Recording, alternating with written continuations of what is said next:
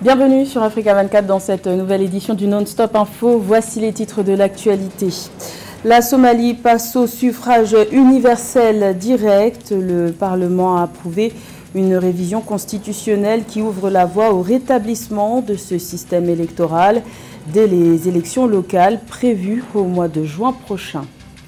Retour sur la deuxième édition du Brazzaville International Leadership Youth Forum qui s'est tenu du 28 au 30 mars au Congo, un rendez-vous incontournable de la jeunesse africaine. Et 54 nouveaux magistrats font leur entrée dans le système judiciaire ivoirien. Nous reviendrons sur la cérémonie de prestation de serment qui s'est tenue le 29 mars à la Cour d'appel d'Abidjan Plateau. La Somalie voit le régime présidentiel au suffrage universel direct être rétabli 55 ans après son abolition. Le Parlement a approuvé à l'unanimité le 30 mars la restauration de ce principe de système électoral disparu en 1969. Cette révision constitutionnelle sera effective dès les élections locales prévues le 30 juin 2024.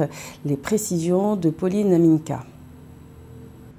La constitution somalienne a subi des changements historiques à la suite d'un vote parlementaire samedi 30 mars 2024. Parmi les ajustements, l'instauration du suffrage universel direct et le passage à un régime présidentiel. Après des semaines d'intenses délibérations, le Parlement fédéral bicaméral de Somalie a ratifié les amendements aux quatre premiers chapitres de la constitution provisoire du pays. Le pays adoptera un système de président au suffrage universel direct et de vice-président. Le peuple somalien élira sur un seul bulletin de vote dans le cadre d'un système multipartite. Au cours d'une session conjointe tenue à Mogadiscio, les législateurs ont délibéré sur chaque chapitre individuel avant de voter sur les amendements complets proposés par la Commission. Au total, 212 membres de la Chambre basse et 42 membres de la Chambre haute ont soutenu les amendements sans abstention ni rejet. L'amendement a été approuvé à l'unanimité. 212 membres de la Chambre basse et 42 membres de la Chambre haute ont soutenu les amendements sans abstention ni rejet. Parmi les amendements proposés figurait une disposition plaidant en faveur d'un système présidentiel dans lequel le président assumerait à la fois le rôle de chef de l'État et le chef du gouvernement. Les fonctions cérémoniales étaient déléguées à un vice-président. Toutefois, cette disposition a été omise lors de l'examen parlementaire. La Constitution amendée stipule un mandat de cinq ans pour les organes constitutionnels gouvernementaux et fait référence au président des États régionaux comme dirigeant.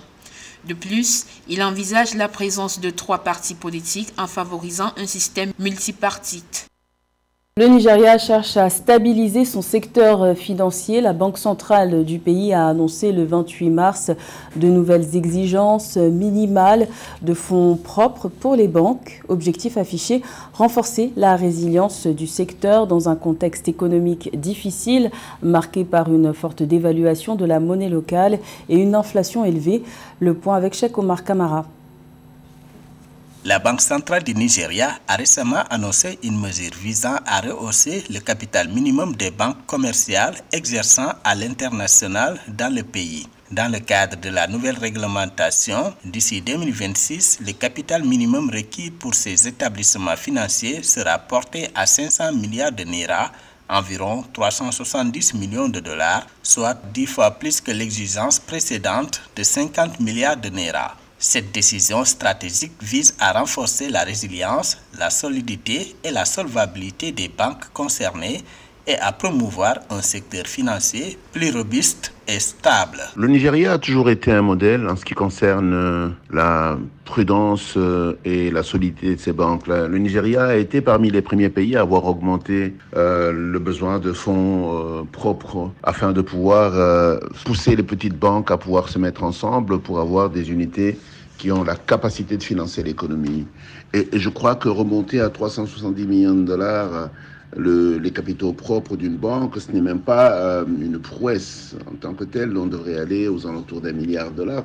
Ça permettrait à la multitude de micro-banques qu'il y a sur le continent à pouvoir faire des groupes qui valent réellement la peine et qui ont la capacité d'intervenir dans l'économie euh, africaine. De même, les banques opérant uniquement dans le pays devront désormais disposer d'un capital de 200 milliards de Naira contre 25 milliards de Naira auparavant, comme l'indique un communiqué de l'institution basée à Abuja. Je crois que cette euh, euh, résolution de la Banque centrale du Nigeria est une très bonne décision dans la mesure où surtout la place nigériane est en situation assez difficile. Les difficultés que le Nigeria a connues par rapport à son extraversion économique qui a raréfié les devises dans l'économie nationale en les pompant vers l'extérieur alors que le Nigeria a une capacité énorme à pouvoir faire de l'économie domestique sa puissance économique. Pour rappel, au Nigeria, l'inflation a bondi à plus de 30% en rythme annuel, ce qui représente le niveau le plus élevé depuis près de 30 ans. Cette forte hausse des prix a exacerbé une crise du coût de la vie, posant des problèmes importants à des millions de personnes dans la nation la plus peuplée d'Afrique qui luttent pour se procurer les produits de première nécessité. Le Gabon est en quête de 854 milliards de francs CFA sur le marché des titres publics de la CEMAC en 2024. Une série de tournées a été lancée le 25 mars par les autorités gabonaises pour lever ces fonds sur la bourse des valeurs mobilières d'Afrique centrale. C'est dans ce contexte que les autorités gabonaises se sont rendues en République du Congo euh, ce 30 mars. Plus de détails dans ce reportage de notre envoyé spécial Joseph Moifo. 854 milliards de francs CFA, telle est la somme que souhaite mobiliser la République du Gabon en 2024 afin d'atteindre les objectifs de développement qu'elle s'est fixés. Et pour la mobilisation de cette importante somme, l'État du Gabon a lancé dans la sous-région une campagne pour la promotion des valeurs du trésor. À travers cette campagne, le gouvernement du Gabon compte sur les partenaires financiers et investisseurs de la sous-région Afrique centrale. Euh, tout cet argent qui va être collecté va servir dans le budget de l'État à, poursuivre les objectifs que euh, l'État euh, veut pour cette année, c'est-à-dire une grande partie de la politique sociale que nous avons amenée, une autre partie pour accompagner l'investissement que nous avons décidé de, de, faire dans les projets qui ont été retenus.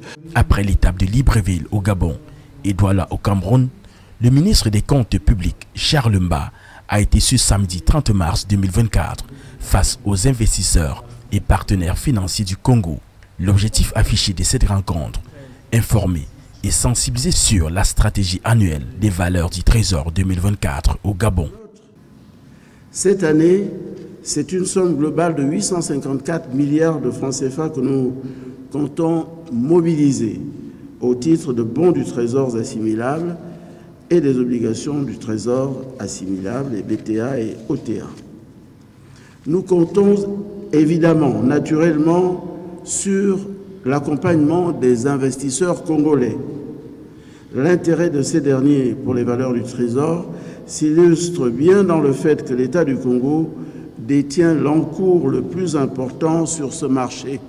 Pour cette campagne, l'État gabonais entend renforcer la promotion des titres sur le marché sous-régional. L'objectif étant d'informer les acteurs économiques sur les différentes opportunités qu'offre le marché des valeurs du trésor et les inciter à constituer plus d'épargne tout en améliorant leur mobilisation sur le marché des capitaux de la CEMAC l'État gabonais, qui a levé près de 6 462 milliards de francs CFA en décembre 2023, est entré dans le marché de la bourse des valeurs du Trésor en mai 2013. Il se présente comme un rendez-vous incontournable de la jeunesse africaine. Le Brazzaville International Leadership Youth Forum fait son retour. Il a fait son retour du 28 au 30 mars pour une deuxième édition. Les exposants ont présenté des produits agro-industriels et euh, des solutions innovantes en vue euh, du développement d'une agriculture durable. Reportage de notre correspondant à Brazzaville, Deva Panzou, commentaire Nana Kamsukom.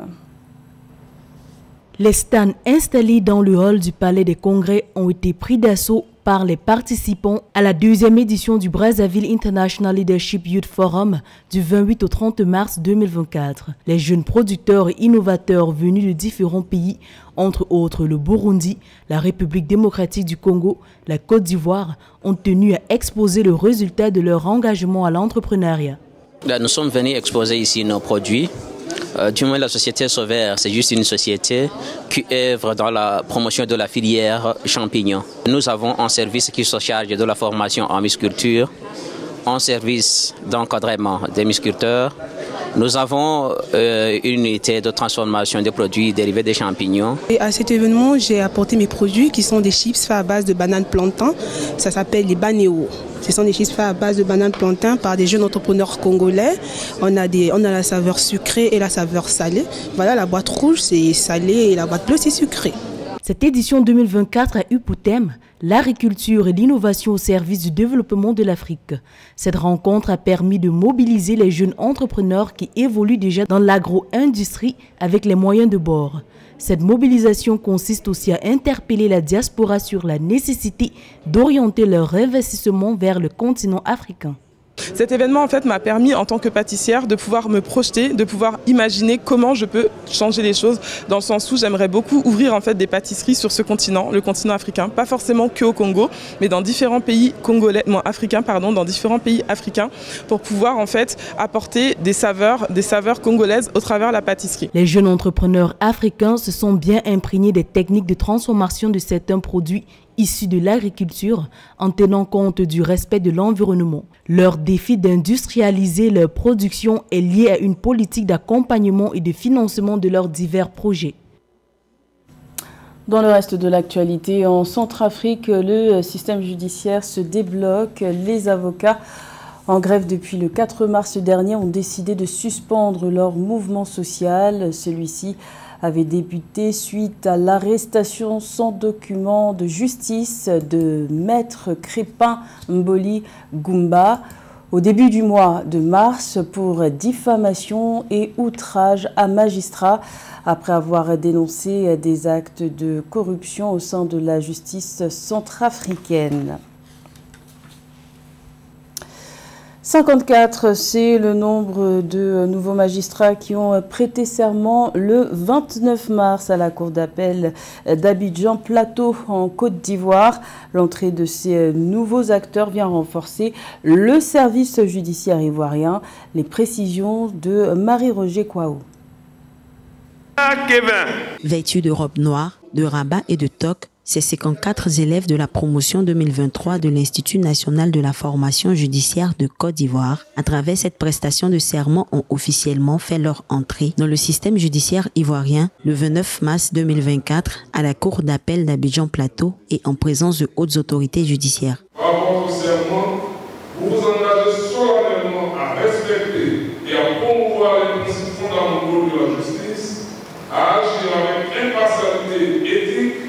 et à défendre les droits des citoyens.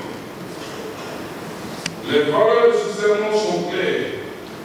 Secret professionnel, dignité et loyauté. En 2021, on observe une Côte d'Ivoire avec un système judiciaire au ralenti. 700 magistrats, dont 450 sont en activité, soit un magistrat pour près de 57 000 Ivoiriens. Ces nouveaux acteurs qui permettront le renforcement du système judiciaire se sont engagés à rester fidèles au sacro-saint principe de la profession de magistrat. Nous avons foi, nous avons foi en la magistrature et nous engageons en tout temps à toujours honorer ce corps. Parce que la, magistrature, c'est un corps en fait qui joue le rôle de régulateur de la société. Euh, il faudrait que la justice inspire la confiance à, tous, les, membres de la société et tel est l'objectif que nous fixons. Dans son ambition de faire de la justice une institution inclusive et moderne, le gouvernement ivoirien a conclu avec le programme des Nations Unies pour le développement PNUD le 1er février 2024 un accord de 2 millions de dollars, soit 1,3 milliard de francs CFA. Cet accord vise à améliorer la capacité des acteurs judiciaires à offrir à tous les citoyens une justice moderne, efficace, équitable et sensible à la question du genre. C'était le journal de la rédaction. Merci de l'avoir suivi. L'information continue sur Africa 24.